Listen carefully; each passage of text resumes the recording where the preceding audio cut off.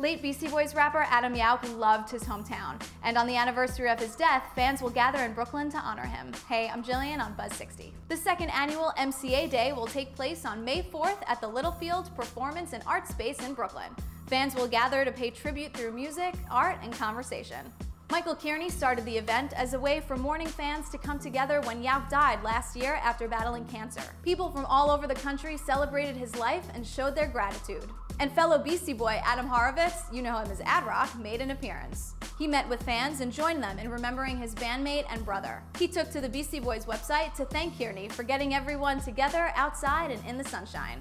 The event's Twitter page has over 62,000 followers, and the Facebook page has over 6,000 likes. Organizers think this year could be even bigger than the last. A fitting tribute to MCA, a humanitarian who reached countless people with his rhymes and message of positivity. Buzz 60, now you know, pass it on.